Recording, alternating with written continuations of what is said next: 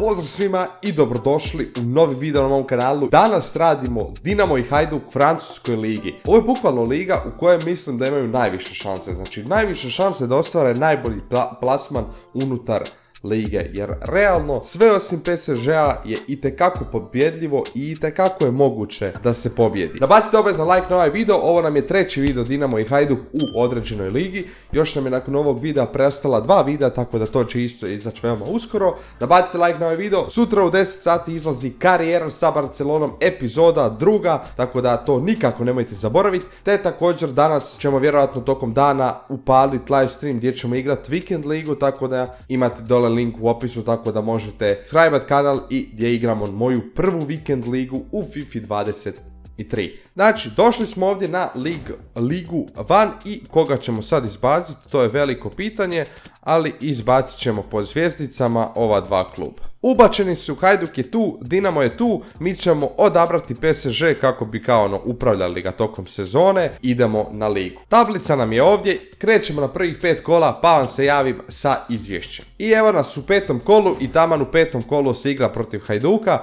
tako da ajde da vidimo kako će se završi, završit će 4-1 za PSG. Pa ajde da vidimo kako je stanje trenutno na tablici, i evo ga, Dinamo je treći, nalazi se na trećoj poziciji, ima četiri pobjede i jedan poraz, ima 12 bodova, imaju jednak broj bodova kao i iz PSG, trenutno je Marseille prvi. Što se tiče Hajduka, oni su čak i ovdje zadnji. Idemo na novih pet kola pa vam se javim. Jo, bila je utakmica protiv Dinama, nisam iskužio. 2-2 je završilo. Dinamo je čak uzo bodove i PSG. Dovršili smo novih pet kola, sad ćemo upravo svi zajedno da pogledamo stanje na tablici. Nakon 10 odigranih kola, Nica je prva sa 27 bodova, Dinamo je e, peti, malo je pao, ali ajde, to se sve još stigne ispraviti, oni imaju 16 bodova, dok je Hajduk trenutno 17. malo se i on podigao, tako da i dalje u zoni ispadanja, ali barem je blizu zone ostajanja. Tako da idemo na novih pet kola. Odrađeno je pet kola, pa da vidimo stanje na tablici. PSG je prvi, Dinamo je na osmom mjestu, polako su počeli usporavati, ali opet četvrto mjesto je udaljeno samo dva boda, e, treće mjesto je udaljeno četiri boda, pa čak i drugo mjesto udaljeno je 6 bodova, tako da relativno je to sve još blizu, to se dosta još može mijenjati. Iako vidim sad upravo da Dinamo zapravo ima i utakmicu jednu više odigranu od svih ovdje gore, ali dobro. A da vidimo kakvo je stanje sa Hajdukom. Hajduk je došao na 15. poziciju, nisu više u zoni ispadanja, tako da ajde, barem nešto idemo na novih pet kola. Pet kola je novih završeno, da vidimo kako je trenutno stanje.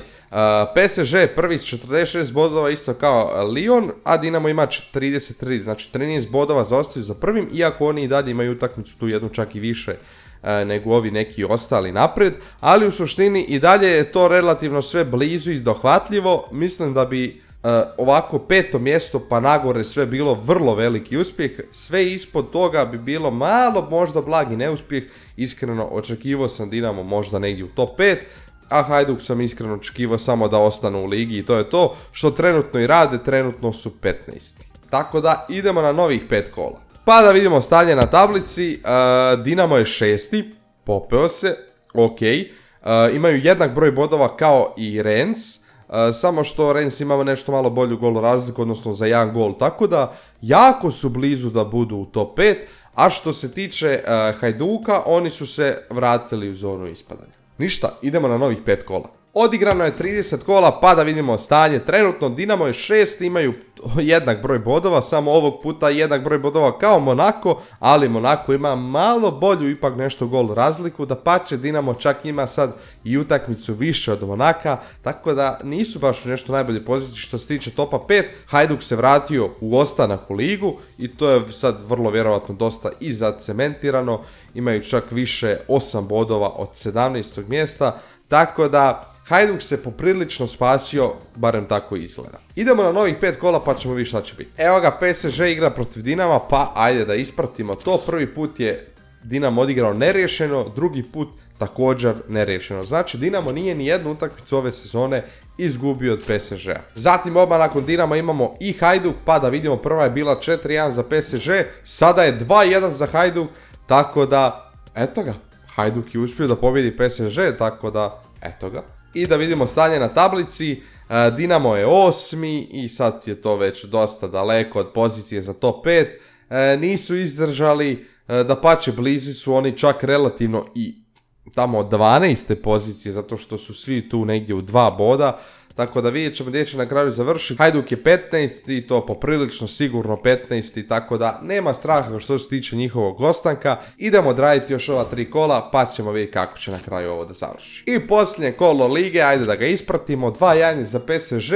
Ajde da vidimo da li na kraju ko je bio prvak. Ligu je osvojio na kraju Pariz sa 81 bodom. Dinamo je bio deveti sa 55 bodova, da je imao nešto bolju gol razliku, mogu je da bude i osmi, ali dobro u suštini završili su na devetom mjestu, za petim mjestom su zaostajali 9 bodova, za pozicije tamo za lige prvaka, kvalifikacije i tako dalje, malo ipak nešto više. Što se tiče Hajduka, Hajduk je na kraju završio na 14. poziciji sa zaostatkom od 9 bodova za Dinamo. Najbolji strelac znači lige je bio Mbappe, a Petković je bio prvi taj koji je bio iz Dinama e, tu je sa 18 golova, da pače Petković je zabio više golova čak i od Mesija i od Neymara je zabio čak više. Da vidimo da li ovdje imamo još nekog igrača Dinama ili Hajduka. Imamo Bijuka sa 12 golova i imamo Oršića sa 10. Što se tiče najboljih asistenata, tu nam je također Bruno Petković kao najbolji od ovih sa 8 asistencija i to također ima više od Mesija. Ajde da vidimo da li imamo još nekog, imamo Špikića koji ima 6 asistencija. Špikić ima više asistencija od Neymara i to je to zapravo. Što se tiče clean sheetova, najbolji golman je bio Lopez a ovoga puta iznenađujuće po, po prvi put Kalinić je bio prilično dobar golman što se tiče clean sheetova. Imao je 8 clean sheetova u 28 utakmica što je iskreno dosta dobra statistika dok je Livaković imao 5 clean sheetova u 32 utakmice. Tu također imamo i Nevistića koji je imao 3 clean sheeta u 6 utakmica, tako da nije loš. Najviše žutih kartona je dobio Petković u ligi, 9 žutih i crvenih, puno njih po 1.